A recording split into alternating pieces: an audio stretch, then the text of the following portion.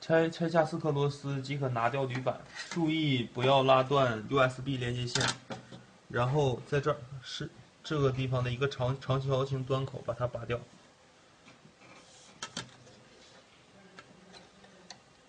注意在拔的时候不要拉线。撕下屏幕上方和下方的两条遮光垫布胶带，注意不要把屏幕弄得颠簸。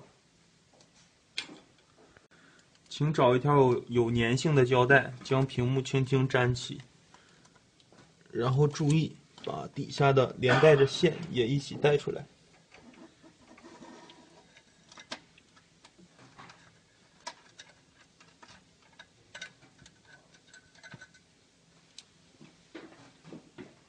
如取屏幕相同方法，把屏幕下方的一块玻璃取出。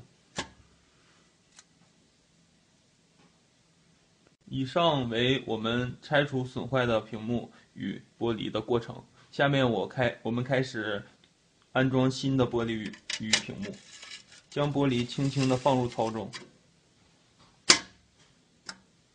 然后将屏幕的连线长端和短端按照长孔的左侧下方塞入。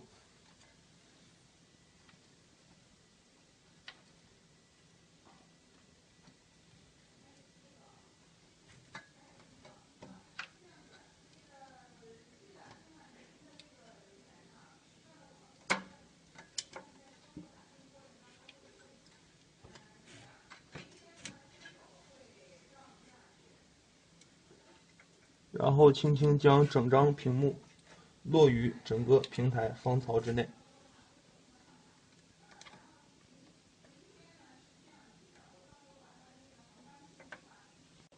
从左侧板拆下来的缺口可以看到，呃，这个从上方垂下的视频线，这个地方有一个长长形端口，长形端口的板上左侧有一个三角标。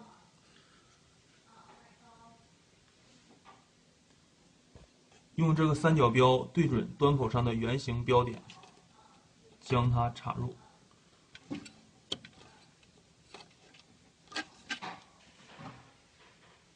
将屏幕下方及屏幕上方的遮光垫布胶带还原，最终拧紧左侧板四颗螺丝，此次更换即将完成。